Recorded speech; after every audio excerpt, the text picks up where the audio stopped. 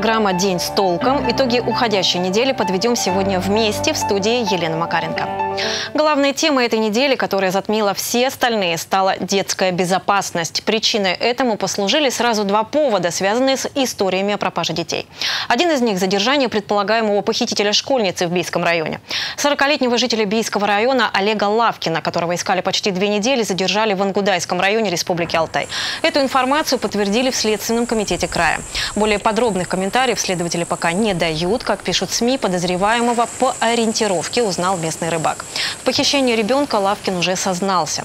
Напомним, громкая история с исчезновением 12-летней девочки произошла 31 июля в Бийском районе. Ребенок уехал кататься на велосипеде и не вернулся. Почти два дня его искали волонтеры, полиция, спасатели и все неравнодушные. В ночь на 2 августа школьница вернулась домой и обо всем рассказала. По словам местных жителей, подозреваемый над девочкой не надругался. Еще одна история, всколыхнувшая общественность на этой неделе, связана с обнаружением останков человека в реке Черемшанка, что под Новоалтайском. Не исключено, что останки принадлежат 11-летней школьнице Ксюше Боковой, которая пропала 7 лет назад. Ее родители, правда, опровергли слухи о том, что были на опознании ребенка. Следующий наш материал о том, каким было семилетнее ожидание. Это исчезновение так и останется, пожалуй, одним из самых загадочных в Алтайском крае. 28 марта 2014 год. Ксюша Бокова вместе с подругой возвращается из школы с занятий по ПДД. Только в этот день Ксюша так и не вернется домой, хотя до него останется каких-то метров 200. Девочка пошла в свою сторону домой. Дочь моя должна спуститься была по трудовому ниже к пойму реки, перейти мост. Подошла, и на горе у нас возле дома подняться магазин. Магазин она за хлебом не зашла. Вот это небольшой промежуток, ребенок пропадает. Тогда к поискам пропавшей Ксюши присоединились сотни неравнодушных людей. Помимо волонтеров и полиции, это были и мошенники, и даже экстрасенсы. Так, например, новосибирская ведьма Елена Голунова утверждала, что Ксюша Бокова жива, и ее насильно удерживают в одном из коттеджей. Но так или иначе, уже несколько лет назад было возбуждено уголовное дело по факту убийства ребенка. Хотя накануне также в СМИ появилось такое предположение, что девочка могла сама уйти нечаянно под воду, ее могло затянуть выл. Все, вылазь от, оттуда. Здесь я переброшу. Это кадры, снятые спустя несколько дней после пропажи 11-летней Ксюши. Спасатели исследуют каждый сантиметр дна. Поиск нельзя назвать простым. Искать довольно непросто. Дно илистое, местами глубокое, ямы все различные. Да и так, всякий брод. Вода холодная, но тем не менее люди помогают. Людей много собралось. И вот спустя семь с лишним лет жители Новоалтайска заговорили о том, что Ксюшу Бокову, возможно, нашли. Местный рыболов обнаружил в реке Черемшанка чьи-то останки. Утверждать о том, что это именно Ксюша, пока нельзя. Вот 10 где-то, в 10 я пришел, мне уголь должен был прийти, в ограде убирался. И вот они вот и с этого времени до 8 вечера. Все, тут, тут столько машин было, аж люди все удивились. Идут разговоры, что вроде бы может быть и она. Ну прошло 7 лет, я говорю, у нас течение здесь большое, особенно половодье, когда идет. В этом году было сильное, очень сильное половодье. Э, Спускали с дам, это, с водохранилищ воду, течение было дикое. Воды было очень много. Так что могло и унести все эти годы в соцсетях идут споры. Периодически в интернете появляются фотографии подростков, которые якобы похожи на Ксюшу. И якобы Ксюшу видели то в другом городе, то в цыганском таборе. Но очевидно, что это лишь разыгравшаяся фантазия людей. Последнее слово за следователями. Сейчас они проводят большой комплекс экспертиз с использованием высокотехнологичной техники для установления личности, в том числе с целью проверки принадлежности костных останков, пропавшей в марте 2014 года Ксении Боковой, назначен комплекс исследований, в том числе экспертиза ДНК. Кстати, вопреки слухам, родители девочки отрицают тот факт, что они были на опознании ребенка. Им, как и всем нам, остается ждать результаты экспертизы. А это процесс не одного дня. Ирина Корчагина, Данил Захаров. День с толком. Как действовать, если ребенок пропал и как по возможности избежать исчезновения детей? Эти и другие вопросы мы обсудили в интервью с руководителем поисково-спасательной группы «Лиза Алерт» в Алтайском крае Юлией Болговой. Юлия, расскажите, сколько лет вы уже занимаетесь поиском пропавших детей и, на ваш взгляд, больше ли детей стало пропадать? Поиском пропавших детей я занимаюсь уже более двух лет. А, на мой взгляд, конечно, а, стало пропадать больше детей. Может быть, даже не пропадать больше детей. Мы стали получать больше заявок на а, пропавших детей. С чем это связано? С тем, что люди стали знать вашу организацию, наверное, да, в первую очередь? Я думаю, да, конечно, это популяризация нашей вот организации поисково-спасательного отряда. А можете привести какую-то статистику? Вот а, сколько, допустим, было заявок в прошлом году или там в позапрошлые годы? За прошлый год было э, получено заявок 81. Это на детей до 18 лет. То есть это разный возраст. Из этих э, заявок 7 детей, к сожалению, найдены погибшими. Остальные дети были а, найдены живыми. То есть 70 там с небольшим все-таки положительный исход, и вот 7, к сожалению, отрицательных. Да, да, 7 отрицательных случаев, к сожалению. А вот какого возраста чаще всего пропадают дети? Это э, ребятишки сознательного возраста или же нет? Чаще всего, конечно, пропадают ребятишки, которые э, подросткового возраста, ну, либо дети с особенностями развития, мы их называем так. А какие основные причины, вот, почему дети пропадают? Ну, основными причинами это является э, уход из семьи. И это не обязательно неблагополучные семьи. Это прям основное заблуждение, что дети уходят только от плохих мам и пап. К сожалению, это не так. И э, также дети уходят из благополучных семей. Э, это может быть причина ссора с родителями, они боятся прийти домой, э, что они получили плохую отметку, или э, сломали телефон, или потеряли его. То есть причины различные. Или вдруг какая-то любовь у них случилась к противоположному полу, а родители не одобряют этот выбор. Или также не одобряют просто дружбу с другими детьми, и ребенка за это ругают. И ребенок, конечно, не хочет возвращаться туда, где ему неприятно и это не его среда обитания. Он пойдет там, где ему лучше. Он пойдет к своим друзьям, где его понимают, где его примут. То есть какая-то такая эмоциональная составляющая, возможно, просто импульс, порыв какой-то, да? Конечно, конечно, это никто не отменял. Ребятишки эмоциональные, где-то хотят они показать свою непосредственно а, как, самоуверенность, что они самостоятельные, что они взрослые, да, да, да, что они могут все, что они могут сами за себя постоять, что они могут выжить, э, сами того не понимая, что они могут очень э, попасть в плохую ситуацию. Ну, эмоции – это дело такое, можно остыть, вернуться домой, да? Но вот помимо ухода из дома, есть ли еще другие причины, вот, э, скажем так, с криминальной составляющей? Да, конечно, мы это тоже не исключаем. У нас бывают такие случаи, что бывают и криминальные случаи, когда ребенка похитили э, с какими-то плохими намерениями, да, и, как правило, это самая страшная ситуация, потому что ребенок, э, как показывает, опять же, практика, жив всего первые три часа после похищения, да. То есть, если в первые три часа ребенок не найден, то уже стоит бить тревогу? Ну, конечно, конечно, это так. Что нужно предпринять, если вдруг пропал ребенок? Какие должны быть вот первоочередные действия? Первоочередные действия, когда пропадает ребенок, и вы понимаете, что он пропал, во-первых, вам надо понять, что он пропал. У всех это индивидуально. У кого-то это 2 часа, у кого-то это 5 часов. Есть дети, которые от, вышли со школы, позвонили, пришли домой, позвонили. Да? И вы понимаете, что ребенок дома. И вы тогда, если он не отзвонился, вы уже можете забить тревогу, правильно? А если ребенок более самостоятельный и не пришел а, к определенному времени вечером домой, тут вы тоже можете забить тревогу, то есть что-то могло случиться.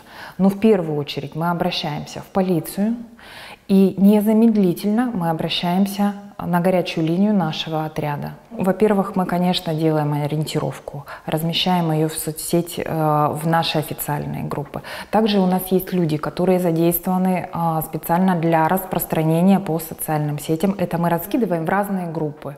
Вот. Э, точно так же мы э, выезжаем на поиски самостоятельно. То есть мы приезжаем, э, выбираем площадку для себя более удобную, чтобы начать поиск по району. Да? Если это где-то вот последний раз его увидели, допустим, на площадке рядом с домом. Да? Начинаем с района и дальше по количеству увеличения времени мы расширяем зону поиска дальнейшую оклеиваем соседние районы, дома и дальше более, более, более дальше так.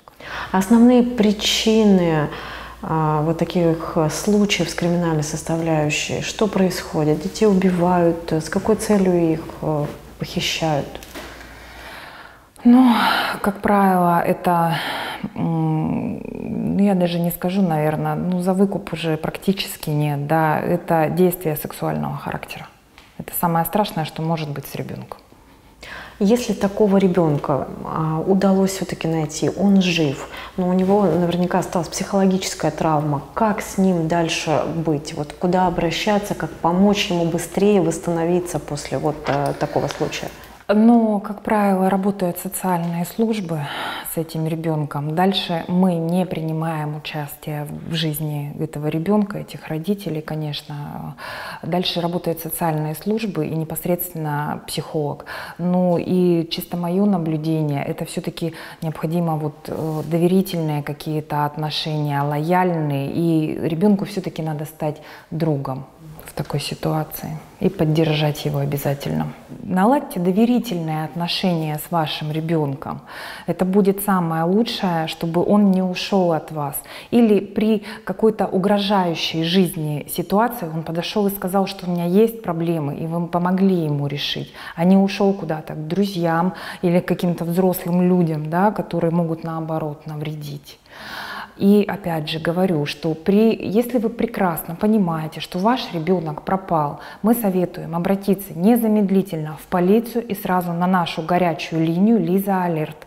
Это 8 800 754 52, где возьмут вашу заявку в работу и мы начнем незамедлительно поиски, чтобы ребенок вернулся найденным живым. Спасибо вам большое. В Алтайском крае пересчитают стоимость строительства социальных объектов. Об этом на неделе заявил губернатор региона во время поездки в Тальменский район. Из-за резкого повышения цен на стройматериалы и, как следствие, недофинансирования, там на несколько месяцев сдвинулись сроки возведения школы. Строительство стало ключевой темой на этой неделе в рабочем графике губернатора Виктора Томенко.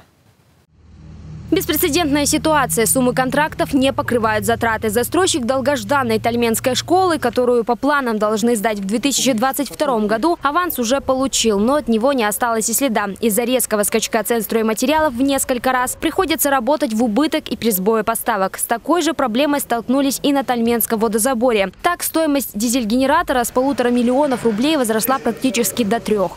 Строители э, практически прекратили процентование, испытывают на самом деле и финансовые в том числе сложности, но работа людей, технику с объектов не выводят, да, немножко меньшими темпами строят. Мы этот пересчет по установленным правилам и на основе обосновывающих документов сделаем и готовы будем его дофинансировать и таким образом э, расходы доплатить, то есть объекты станут для нас стоить несколько дороже. Но для нас важно сохранить наших подрядчиков.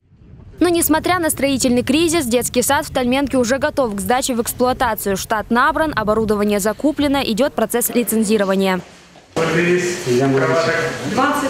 20? 20 это как у нас ясельная группа 20 Помимо денег, выделенных по нацпрограмме «Демография», муниципалитет потратил больше двух миллионов собственных средств. Уже 4 сентября сад примет 250 детей. Средства по госпроектам получило и село Озерки. Здесь открыли новую спортплощадку и совсем скоро появится сквер. Стоимость строительства двух объектов составила 7,5 миллиона рублей. На неделе губернатор края посетил еще один строящийся объект. Речь идет о городской поликлинике номер 14. Ее филиал появится в одном из быстро развивающихся районов на улице Лазурной. Как отмечают в Минздраве, это будет первое типовое здание для поликлиники в Барнауле. Она будет обслуживать 75 тысяч жителей с мощностью до 900 посещений в смену. Здесь будет э, расположена и вся участковая служба, и узкие специалисты, и диагностическая служба. Здесь будет возможно пройти все обследования для населения. И здесь, конечно же, нам, скажем так, требуется решение комплексного подхода, как раз-таки закрывая проблему первичного звена для индустриального района. Мы сейчас приняли дополнительно 6 терапевтов, травматолога, которого не было уже в течение 10 лет, вот второго онколога.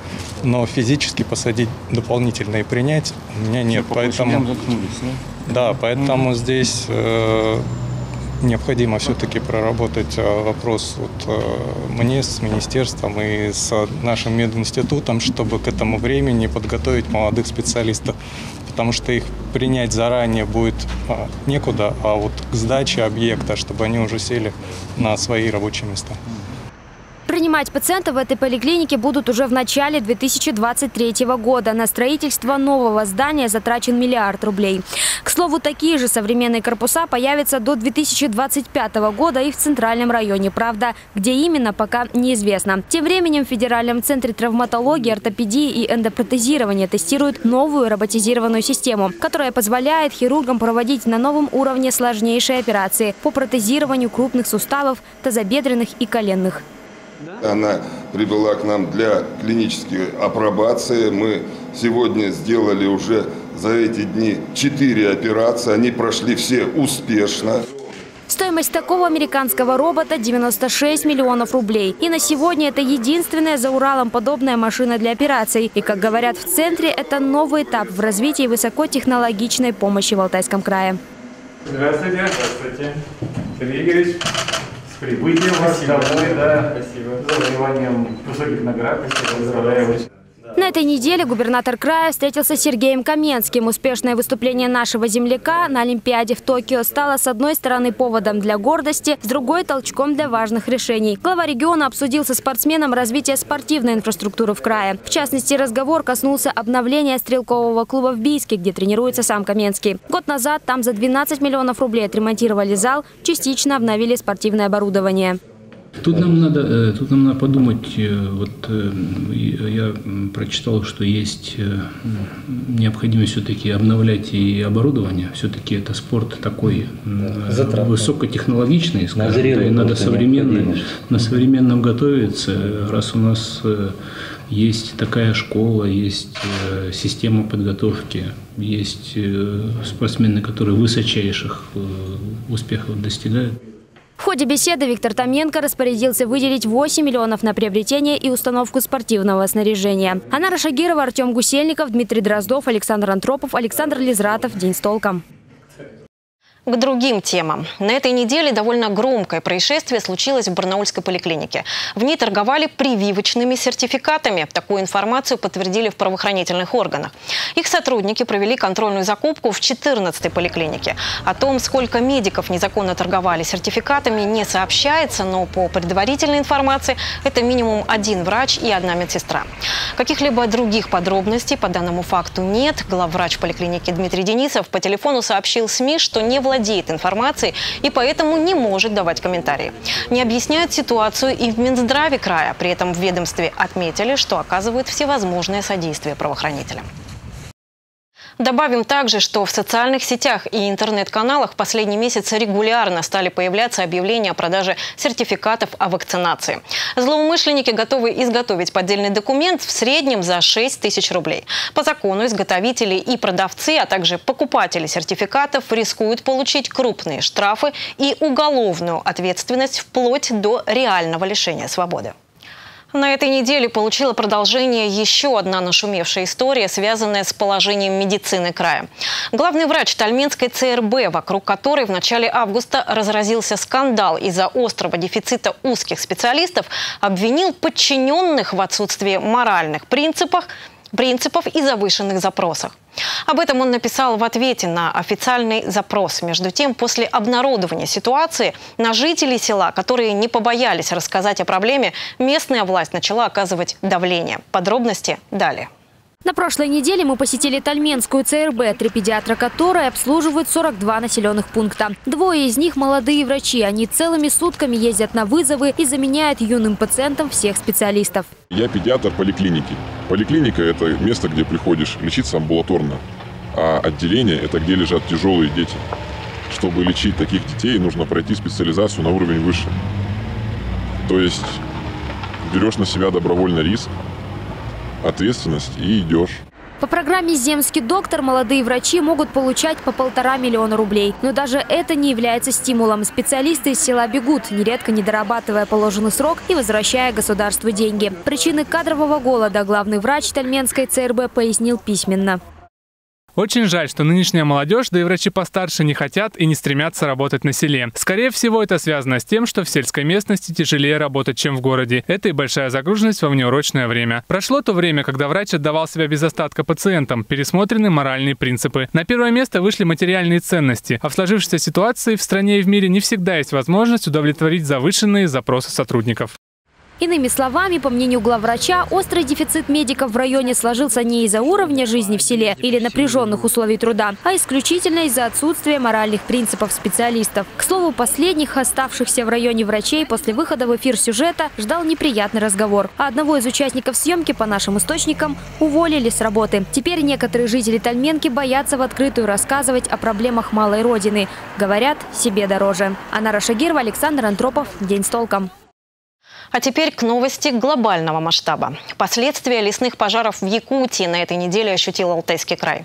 Так, в понедельник четыре московских самолета, которые следовали в Красноярск, Абакан и Братск, вынужденно посадили в Барнауле. Приземлиться в Красноярском крае стало невозможно из-за плотной дымки от якутских пожаров. К слову, смог от них ощущает уже практически половина России и даже соседние государства. Но в нашем регионе эта проблема может достигнуть апогея в обозримом будущем по прогнозам экологов, территория Алтайского края входит в список потенциально опасных с точки зрения возникновения лесных пожаров. Это зависит от темпов изменения климата, а они все стремительнее. Подробнее об этом в специальном репортаже Артема Гусельникова. Понедельник. В Красноярске задерживают и не выпускают более 20 рейсов. Затем всю неделю ежедневно пассажиры вынуждены часами ждать посадки. Причина – смог, накрывший Сибирь из-за лесных пожаров в Якутии. Огонь в граничащем с Арктикой регионе бушует больше месяца.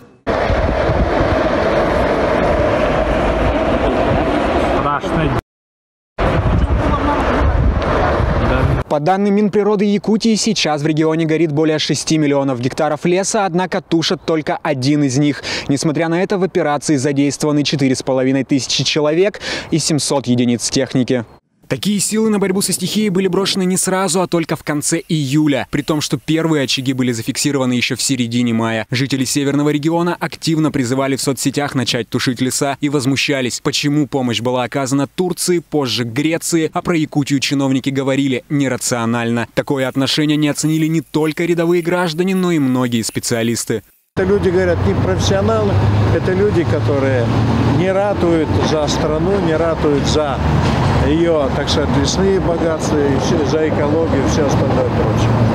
Только так можно судить. Пожар нужно обязательно тушить. Но тема возгораний в Якутии постепенно набирала обороты в медиапространстве, отчасти от того, что активисты обратились за помощью к всемирно известному зарубежному актеру Леонардо Ди Каприо, и особенно после того, как дым от лесных пожаров распространился на тысячи километров. В итоге вопрос подняли на совещании главы МЧС Евгения Зиничева с Владимиром Путиным. Среди предложений в два раза до 14 миллиардов рублей увеличить количество средств для борьбы с огнем и вернуться к советской системе управления вернуть на федеральный уровень контрольные и надзорные функции по охране, защите и воспроизводству лесов. В настоящее время э, все это передано в субъект. Довести до норматива штатную численность работников лесной охраны. По сравнению э, с советским периодом численность в 4 раза меньше. Другая проблема, которую обсудили в ходе совещания – ответственность арендаторов лесных участков. Министр МЧС предложил вернуть обязанность по тушению пожаров на используемых территориях и в буферной зоне, протяженность которой составит 5 километров. Также арендатор должен будет отвечать за неоказание мер по локализации возгораний и выход огня за границы участка. Причина такого предложения – анализ пожаров двухгодичной давности. Тогда 90% термоточек находились в зоне лесозаготовок.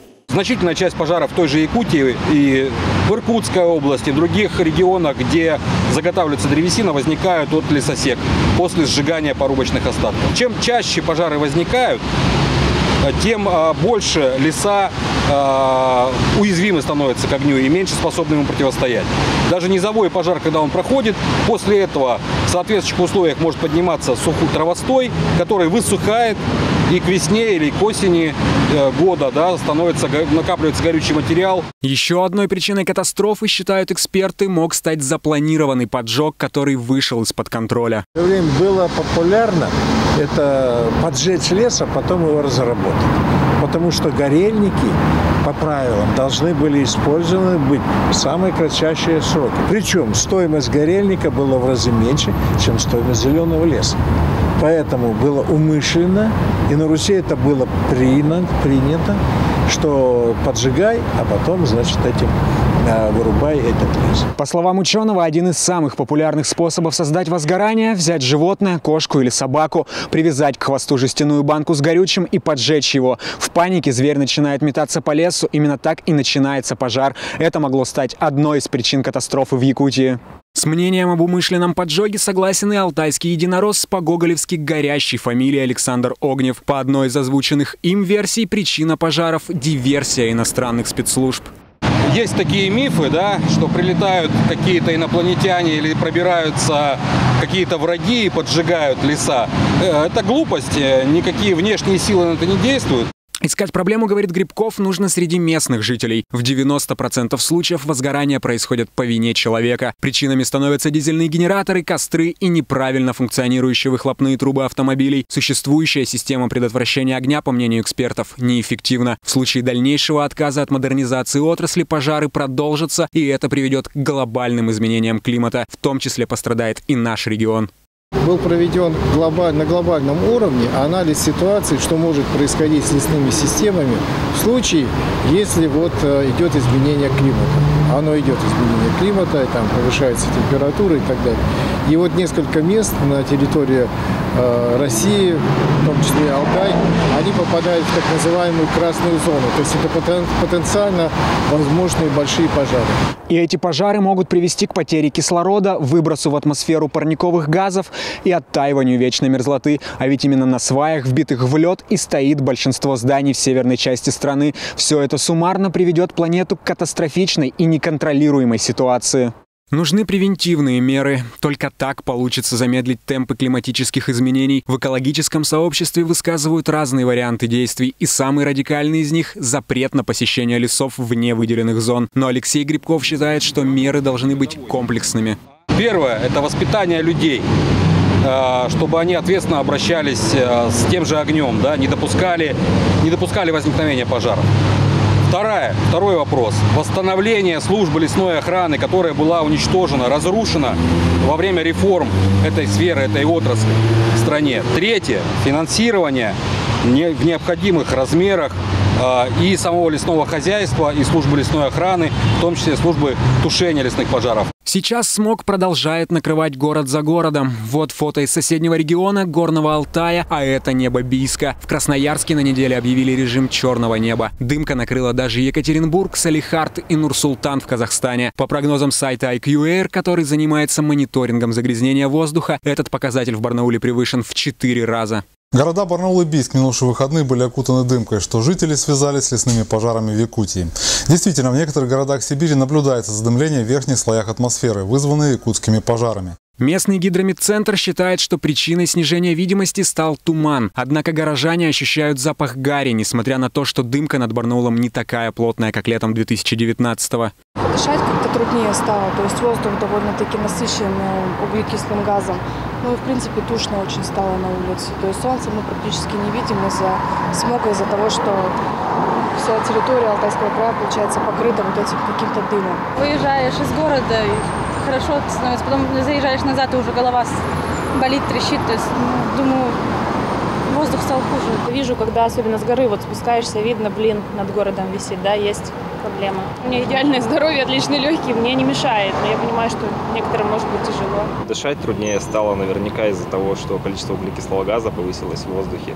А, некий парниковый эффект даже наблюдается за счет того, что солнце заслонено дымкой, и в целом жить стало гораздо труднее. Если раньше пожары в Якутии заканчивались с приходом дождей, то теперь экологи говорят об увеличении сроков. Высока вероятность появления очагов, где огонь не потухнет даже зимой. Именно поэтому смог продолжит распространяться. В зависимости от скорости и направления ветра может пострадать практически любой регион планеты. Тяжелее всего придется людям с заболеванием органов дыхания. И решить эту проблему можно только реанимировав лесную отрасль. Артем Гусельников, Александр Антропов, Данил Захаров. День с толком. Далее яркая позитивная новость недели. В Алтайский край вернулся двукратный призер летних Олимпийских игр в Токио Сергей Каменский. Бейский стрелок из пневматической винтовки с 10 метров пополнил копилку российской сборной серебряной и бронзовой медалями. Как встречали земляка-олимпийца на родине, которого Владимир Путин наградил орденом за заслуги перед Отечеством, расскажет Дмитрий Дроздов. 7 часов утра у барнаульского аэропорта толпа людей с флагами и плакатами. Все ждут московского рейса, на котором домой возвращается настоящий герой. Алтайский спортсмен, дважды призер международных летних игр в Токио Сергей Каменский.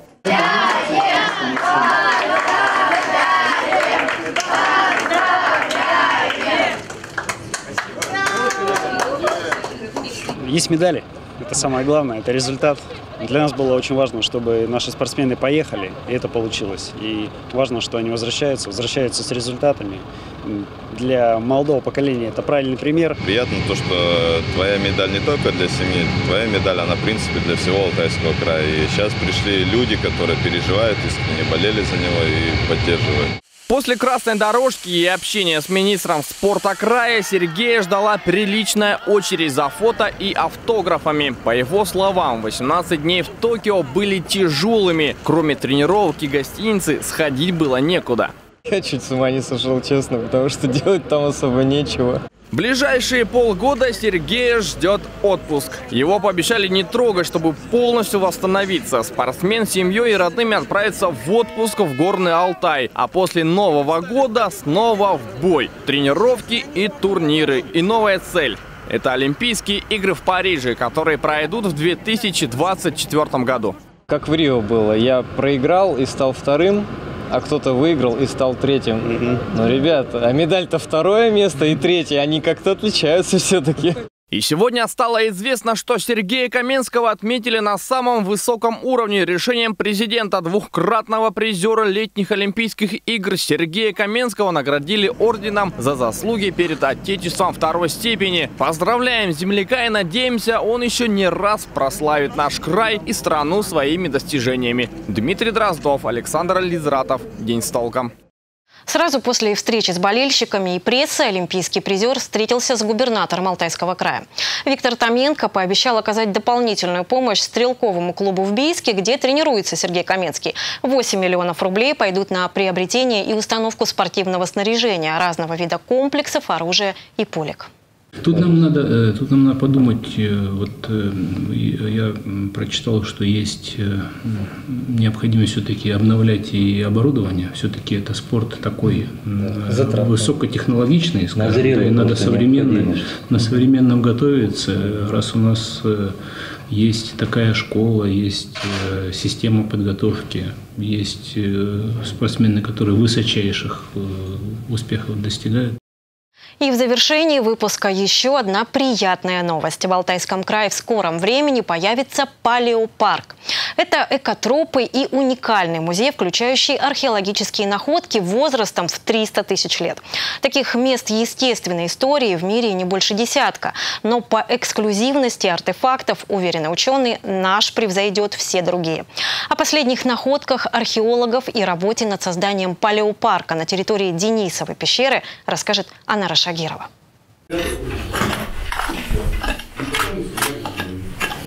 Вот так, крупица за крупицей, археологи в Денисовой пещере собирают то, что здесь копилось сотни тысяч лет. Три хрупкие девушки в непростых условиях вот уже третий месяц буквально воссоздают историю. Правда, самую тяжелую работу помогают выполнять мужчины. Здесь плюс 7 вот сейчас, на нашем уровне. Трудности связаны, наверное, с тем, что три месяца в замкнутом пространстве, в, маленьком коллективе, далеко от семьи, конечно, скучаем по дому, но любимая работа позволяет справляться с такими трудностями. Что для обывателя просто песок, то археологу целый клад для изучения. Сначала его нужно доставить к реке и промыть, затем тщательно очистить, а уже после материал попадет в руки палеонтологов. И здесь начинается самое интересное. Мельчайшие частицы нередко оказываются сенсационными находками. Возраст данных находок определяется примерно 40, 45, 35 тысяч лет в таком диапазоне. Допустим, вот интересный предмет, можно сказать, что это очень резкая находка этого сезона, этого года. Это фрагмент, крупный фрагмент кольца из мрамора, который был изготовлен а, целиком выточен из небольшой мраморной гальки с э, берегов реки Аной ближайшей. Вот, его сверлили, простачивали, шлифовали. Это кольцо, по мнению ученых, принадлежит самому Денисовцу. Отсюда следует, что уже 40 тысяч лет назад первобытный человек думал не только про питание, но и о красоте. Умея обращаться с камнем, создавал украшения. Сейчас мы э, твердо знаем, что денисовцы обитали в пещере, так сказать, с самого э, начала функционирования этой пещеры как археологического объекта. Э, и на протяжении как минимум 250 тысяч лет они обитали здесь, в пещере. Это была не привнесенная культура, а культура, которая сформировалась на местной основе. Это очень важно. Вот, то есть у нас это э, была не периферия древнего первобытного мира – Сибирь Алтай, а это был один из центров Среди найденных вещей не только украшения, но и орудия труда, причем как денисовца, так и неандертальца, который долгое время жил с ним в одной пещере. Археологи нашли даже фрагменты тела их совместного ребенка. Эти и другие находки позволяют создать здесь не только музей, но и целый палеопарк. Для этого был создан общественный фонд «Денисова пещера». Его попечителями стали алтайские чиновники, бизнесмены и ученые. На прилегающей территории Гнисовой пещеры предполагается обустройство. А, оно планируется а, в связи с тем, что здесь необходимо создать а, удобные, комфортабельные места для парковки автомобилей, экотропу, малые формы архитектуры, под которые будут характеризовать артефакты, найденные в Денисовой пещере. А чтобы облегчить долгую дорогу туристам до Денисовой пещеры, фонд задумался о строительстве новой трассы, которая свяжет несколько туристических центров – Биск, Белокуриху, Солонешное, Денисову пещеру, Усть-Кан, Коксу и Белуху. Можно также выйти на, на Кошагач, на Чиндек. То есть, и, конечно, вот Белуха здесь будет э, привлечением ну, самого большого потока. Он есть. Он здесь поток этот, э, дорога на Белуху здесь несколько короче она требует, конечно, ремонта. Поэтому, привлекая сюда туристов, создавая здесь фонд, газету и вкладывая определенные денежные средства, мы рассчитываем на то, что здесь будет, э, как мы говорим, Чуйский тракт 2. Проект благоустройства фонд намерен подготовить к концу этого года. А вот на само строительство палеопарка по прогнозам уйдет около пяти лет. Анна Рашигирова, Александр Лизратов. День с толком. И на этом все. Такой была уходящая неделя глазами наших корреспондентов. Мне же остается напомнить телефон нашей редакции 205 545. Через несколько секунд о погоде. Спонсор прогноза компания «Эвалар». До встречи и берегите себя и своих детей.